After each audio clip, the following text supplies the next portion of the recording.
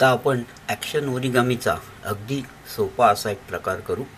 याला म्हणतात tumbling toy जपानी भाषेत याला म्हणतात कोटोंगा कॉंग हे बुक फोल्डपासून आपण याची सुरुवात करणार आहोत. अर्थात बुक फोल्डसाठी आपल्याला घडी घालायची नाही आहे आपल्याला फक्त मध्य खुणा हव्यात. तर बुक फोल्ड करू. समोरासमोरच्या दोन कडा एकमेकांना जुळवू.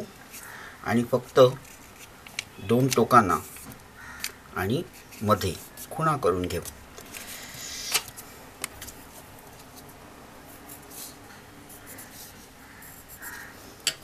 आता या बुक फोल्डच्या खुणा झाल्यावर आपल्याला हाऊस फोल्ड करायचा आहे. म्हणजे ही दोन टोकं या रेषेवर आणून जुळवायचे आणि घडी घालायचे.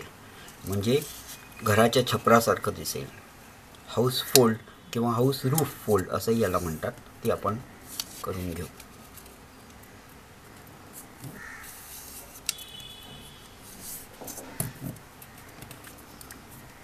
आता ही दोन कोपरे आपण जुळवलेत हा या कागदाचा मध्यबिंदू असतो.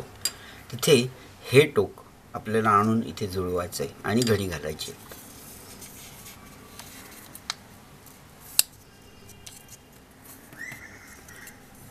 आता ही जी नवीन कडा तयार झाली आहे ती आणून ह्या रेषेवर म्हणजे ह्या टोकावर आणून जुळवायचे आणि घडी घालायचे.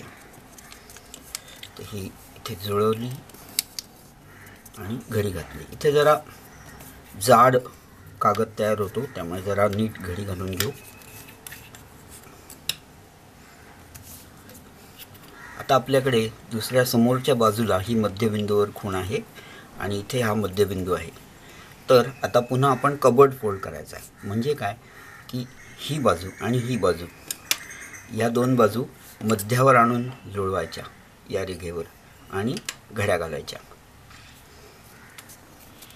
डावी बाजू आणून इथे जुळवली आणि घडी घातली. या इथे जरा जाड होतं आहे बोटाच्या खाली तिथे जरा नीट घट्ट घडी घालून घेऊ. त्याचप्रमाणे उजव्या बाजूचा कागद इकडे मध्ये आणून जुळवू आणि घडी घालू.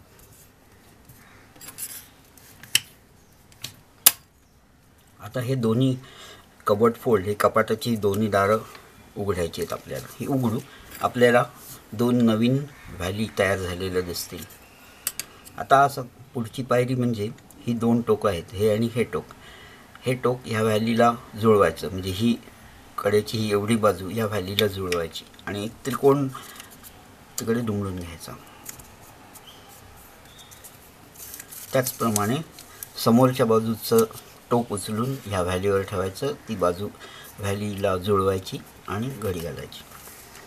आपलं हे टम्बलिंग टॉय तयार झालं आहे आता हे कागदाचं खेळणं चक्क कोलांट उडी मारतं. आपण त्याला कोलांट उडी मारायला लावूया. त्यासाठी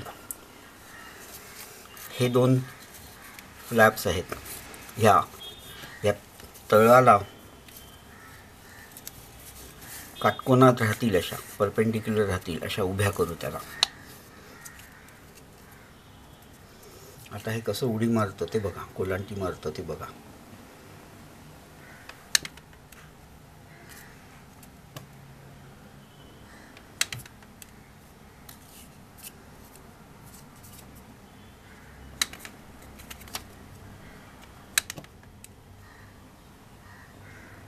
एक अगदी सोपं खेळणं.